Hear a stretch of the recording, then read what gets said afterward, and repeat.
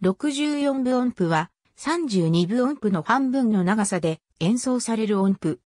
17世紀後半に初めて登場し、128分音符と256分音符が稀に登場することを除けば、楽譜で見られる最も短い音符である。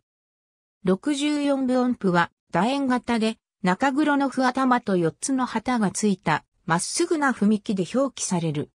音符が5000符より上もしくは中線上にあるときは、幹は符頭の左にあり下向きである。符頭が中線より下にあるときは、幹は符頭の右側にあり上向きである。一つの64分音符には常に旗がついているが、二つ以上の音符は通常まとまって桁で一緒になる。桁で一緒になった多くの64分音符めったに出会わないが、同様の記号で64分給付があるが、これは64分音符と同じ長さの休止を表す。64分音符より短い音符が使われることはほとんどないが、128分音符やさらに短い音符が見られることもある。ありがとうございます。